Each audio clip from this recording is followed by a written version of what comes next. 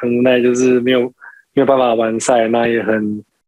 算很失望了。我国暌违三十年，第一位冬奥滑雪选手何炳瑞坐在床上受访，因为稍早他在男子驱道赛中重摔，所幸只有拉伤撞伤，不影响行走。雪况就是变得非常冰面，那。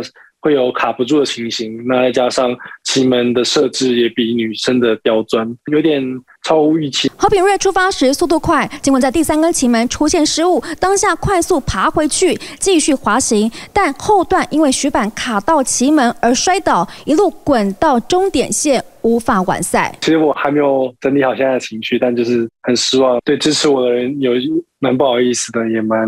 让他们失望。由于北京日前大雪造成的是选手的赛道不仅雪面硬度难度提升之外，也影响到训练无法熟悉场地。尤其在赛前一天没有开放选手自由滑行。今天的男子组八十八人参赛，有三十六人都无法完赛。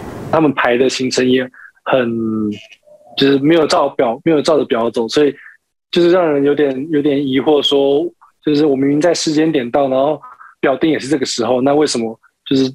还没有时间，还没到头就就结束了。何炳瑞从十五岁开始，只身赴欧洲滑雪学院就读，目标挑战冬奥。今年终于圆梦，写下台湾滑雪新业。以往我们都是自己一个人在外面比赛打拼，那呃，相对受到的注目，其实可以说算是没有。所以这次的注目度一下子提升这么多，就是对自己就有一定的程一定程度上面的压力。